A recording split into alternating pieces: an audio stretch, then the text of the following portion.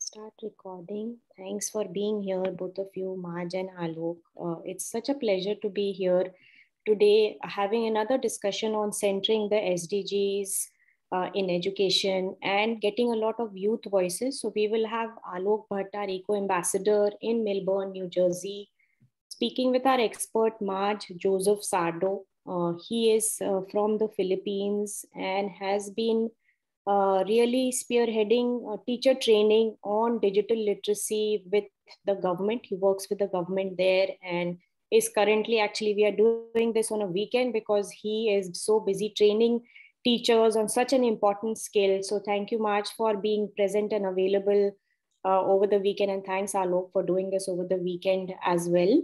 Uh, just a quick uh, uh, introduction about Marge. As I mentioned, he works with the government and he has been uh, promoting SDG 4 quality education, uh, especially 4.4.1, which is a promotion of youth and adults using uh, with information using ICT skills. So it would be great to hear from Marge on his reflections on using ICT skills for improving quality of education. Thanks for joining and I'll uh, share now. I'll ask Aalok to uh, ask his questions. Thank you, Dr. Iyengar. So my first question is, does the LEADS, LEADS project also include elements of global citizenship and education for sustainable development, essentially SDG 4.7?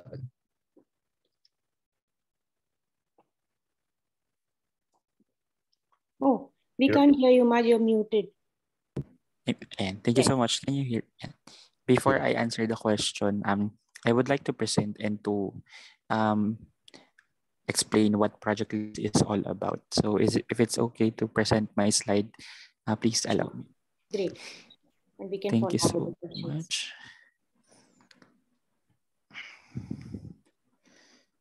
Okay, so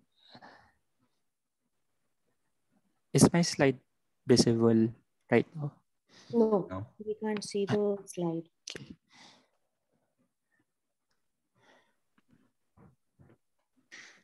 For a while. So,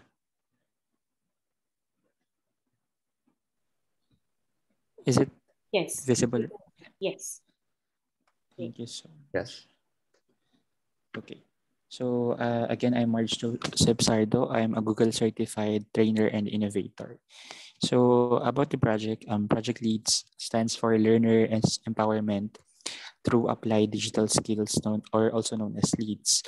So it is anchored in the SDG number four, quality education. Um, it's a response to the ASEAN challenge. So um, when they gathered and um, have a meet a conference last 2020, so they they released a challenge, specifically this one. So they challenge us to strengthen the ability of educational systems to nurture and empower each and every child um, adolescent and especially young person, including the most disadvantaged with digital literacy and transferable skill. So this um, this reason um, led me to build a project which is anchored to the challenge. So the challenge uh, under the project is a free online training series. So it's usually 10 sessions facilitated by mostly um, experts or Google for Education innovators, trainers, including coaches. So using the Google Applied Digital Skills Curriculum. So it's uh, um, already available in the internet in the Google um, site. So this is this will help us develop uh, learners with digital literacy skills. Okay, so yeah, so the objectives of the project leads is to train um, learners with GADS curriculum, so the, the curriculum I mentioned earlier, to develop um, especially their applied digital skills because this is really a need. So um, and of course to deliver opportunities to collaborate yeah, with local and international youth networks. And of course um, provide certifications as proof of the learner mastery on applied digital skills. So I will not explain this one, but our um, the project also is anchored to develop students' 21st century skills. So this is really important, especially if you are living in this era, in this information age era. So this one is an introduction to the uh, first pilot school that I um, I integrated the project with. So um, this school was um, uh, sent me an information or a data showing that the digital literacy skills of the students are lower than expected. So that's why it's really a very good target. I'm so sorry. It's really a very good target uh, since we are developing digital literacy skills. So they provided the data, which I wasn't able to include in the presentation but it's really a good a good to see that the students have average knowledge when it comes to data literacy. So yeah, those are the the project um, guides, the project, um, the basic information about the project. So these are some of the examples of the activities and including the required outputs that the students are um, will undergo. Okay, so we have their um, applications such as Google Docs, wherein they will create their resume. So we all know that resumes are really essential, especially when you are going to apply a job. And then some examples are Google Drive lessons for school. So the, the output is an organized Google Drive link. And um, to sum it up, all of the activities will help them um, practice their digital literacy skills. And then using the output, we can evaluate those outputs and make sure that they are um, really um, un- they really understand what digital literacy skills is all about. Okay, so that is the overview of the project, and we have our first launching um, last Monday. So yeah, and to answer that question, um, I'm really sorry. Um, can you please um, repeat again the question. So, sure. Um, how does the LEADS project also include elements of global citizenship and education for sustainable development, essentially SDG 4.7? Thank you so much. Um, the project LEADS, um, as you can see, it has a lot of activities. Um, say, for example, we have integrations from other projects. Um, in the Google Applied Digital Skills curriculum, we have different um, topics such as um, the internet awesome, um, digital skills, literacies, um, topics about gender sensitivity, all of those are integrated in topics such as, say, for example, if they're going to create a PowerPoint presentation, there are examples wherein values, um, skills, and other related um, GCED um, topics are integrated. Okay. So you're including like gender equity and, and also in in terms of yes. and also in peer work. Um, and we can um, easily integrate this because um, like what I said, we have we can connect or we can um, have an international or a local um, collaboration wherein we can invite invite speakers advocating those um, topics that which we can also integrate to the uh, applied digital skills that we are requiring for the students to do to accomplish. So like what I said, um, in the PowerPoint presentation, we can use that as a campaign um, medium. Say, for example, if we're going to campaign gender sensitivity, and um, I ask them to create posters using um, Google Docs or using Google drawings so they will easily do that and we can integrate apply digital digital skills at the same time um, um, show awareness of the the topics inside the GCED curriculum. Right, that's very interesting. Thank you. Um, so for my next question, what are some challenges? What have some challenges been regarding technology reaching the students, especially during COVID?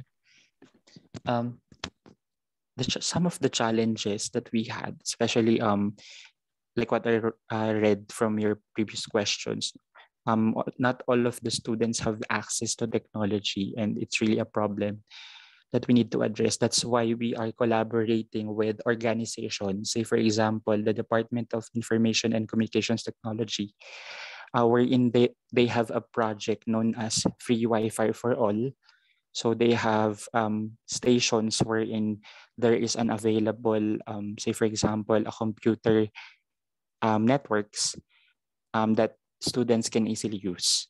So there are also projects from the Department of Education where we provide, um, say for example, technical assistance and technology, uh, technological packages, which um, every school can utilize. So um, this is more of a collaborate collaborative project and we maximize those resources for us to, of course, um, come up with the goal and produce and, and of course to, to, um, to easily target those goals that we are um, implementing. That's a very innovative solution to, to the problem because because I know other countries are also dealing with the same issue, like lack of internet access, which has really hampered their education systems during the pandemic. Yeah, um, actually, we, we also don't have that kind of access, but um, um, not all um, schools have access to technology. So some of them are really untapped. Some of the um, students are really a part of those underserved individuals. That's why um, we wanted to, um, this project to become low, globally recognized so that we can easily find solutions and collaborate with other um, innovators, ambassadors, and advocates. So um, to us or to to um, ask advices on how we can um, we can um, make this as big as possible so that many students, those underserved, those indigenous people um, will have the ability to um, develop their applied digital skills even without having that, that much resources. Makes sense. Um, so my next question is, can you elaborate a bit more on the information and communication technology ICT skills and what do these skills look like? Yeah, um, some of the skills that I mentioned are mostly transferable skills. So that's one of the most um, important skills uh, one of the most important skill that all of the students must learn because those transferable skills are really essential for us or for them to be um, future um, productive citizens of the country. So some of the examples are um, mainly from applied digital skills are the communication skills, um, critical thinking skills, the four C's that I mentioned earlier, that I showed earlier. So some of those are the skills and it's part of the information and communications technology skills. Right. So applied digital skills can empower students through individualized education. However, do you think it will create gaps in learning because there are many countries and regions where these students don't have access to the technology? Yeah, um, it's the same answer that I mentioned earlier. We are communicating with other government organizations, especially youth organizations available in the Philippines, where they can extend their hands to, say, for example, to mention or to um, recognize underserved individuals that we can reach. So yeah, that's part Makes of sense. So then can you share some success stories of your students who are a part of this project? Um, actually, the project just launched uh, this month. So I might say that um, I can't show you any success story, but I, I, I assure that uh, despite of the challenges that we encountered from the orientation that we had, so I have at least 35 participants um, from um, apart here in the Philippines. And um, even though I, I, I gathered the data and I, I realized that they I mostly use um, mobile phones, which is really a challenge if you're going to take this project because this is more of a um, Google uh, Google applications. So say for example, you can't really um, edit a document inside the phone that easily. So um, they have really a lot of challenges and a lot of barriers. But those students, so out of 35 students, I have um, at least 75% of the students on board. So that's the initial um, success story of this project. And of course, this project was recognized by the regional um, director of the, the, the location of the school that we are targeting. So yeah, they are really supportive when they um, when I introduced the project. And they really gave a specific time for the students to learn from the project. So since um, there are regular school schedules, they allotted a specific time for us to have a very wonderful session. So all I can say is that many of the organizations are helping us make this project possible and successful. Right. I wish you the best. And for my final question, digital world and digital education are an integral part of our modern world. While it has many advantages, there are also disadvantages in terms of cyber threats like hacking, bullying, identity theft, human trafficking, technology addiction, and privacy invasion. How can students avoid these threats? Um, the project, as you can see, has a lot of potential when it comes to uh, cybersecurity awareness. So as what I said, we are um, collaborated with the Department of Information and Communications Technology, and they are really experts when it comes to advocating cybersecurity and other um, related um, threats. So um, aside from that, Google Applied Skills has micro courses that we can use. So for example, Be Internet Awesome is a cybersecurity awareness campaign. So it's a mini course where students will learn how to use um, every Google applications tool to uh, application tools in a positive and in a responsible way. So um, the, the curriculum is really flexible since it's really um, can be adapted um, for younger um, individuals. Um, it can also be introduced for preschool students. That is really essential because we can, we need to um, provide awareness as early as possible. So that's why we are targeting youth uh, from the preschool up to the um, age 25 to 40. So all of those individuals who will um, who are potential or who are really targets of cybersecurity and cyberbullying cases um, have the ability or have the, the opportunity to, you know, be aware of the possible threats and the possible solutions that they can do or the possible actions that they need to um, take a step on. Make, makes sense.